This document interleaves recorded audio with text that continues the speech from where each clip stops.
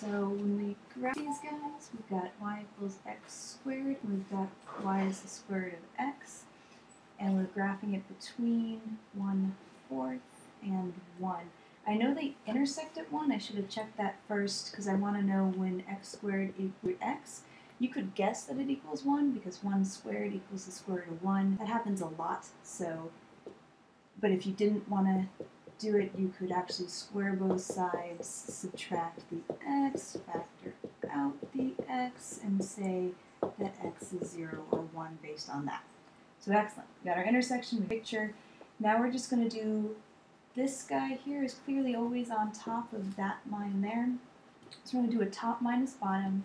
So the top curve is the square root of x, the bottom curve is the x squared. dx, our x's are going from 1 fourth to 1.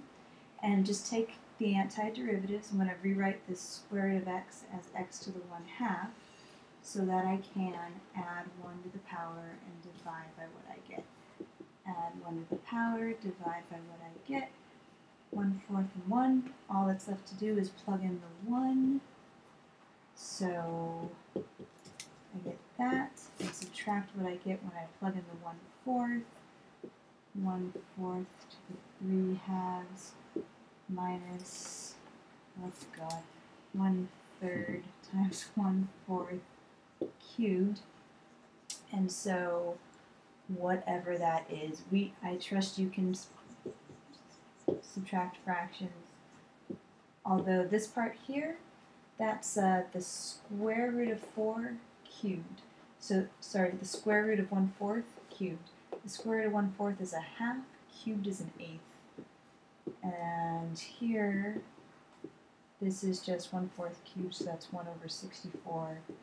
And I'm going to let you work that out to get some lovely answer that the book will tell me if I look it up.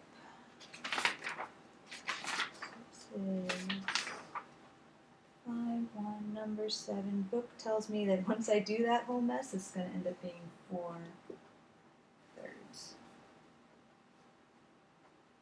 No, wrong one.